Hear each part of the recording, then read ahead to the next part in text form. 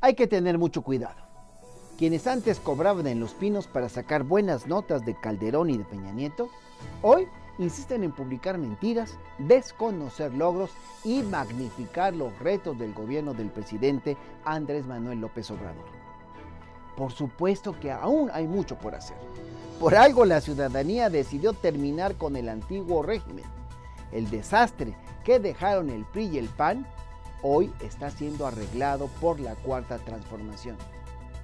No extraña que los comunicadores que solaparon con total complicidad las corruptelas y la impunidad del pasado son quienes desde el primer día del nuevo gobierno se han dedicado a buscar cualquier pretexto para atacar al presidente López Obrador. Sin embargo, el pueblo es sabio y quienes solo buscan desprestigiar han quedado exhibidos. Esta semana intentaron manipular a la ciudadanía afirmando que la aprobación del presidente bajó. Lo hacen en un momento complejo para el país que debería convocar a la unidad y no a la división.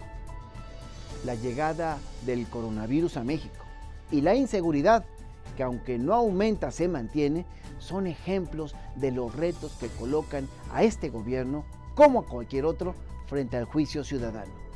Así funciona la democracia y confío en que estaremos a la altura para atender y resolver lo pendiente. Iniciamos cumpliendo y lo seguiremos haciendo. De eso no hay duda. La mejor encuesta está en las calles, el presidente sigue y seguirá contando con el respaldo de una amplia mayoría de la ciudadanía. El 2021 será una gran prueba para esto. Invito a quienes difunden con cizaña a sumarse a la reconciliación nacional. El país necesita de todas y de todos para salir adelante. Sigamos defendiendo la cuarta transformación.